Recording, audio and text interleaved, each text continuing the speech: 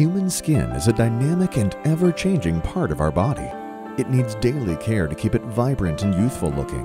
The Defensins in DefenAge work with your body's stem cells to create beautiful new skin.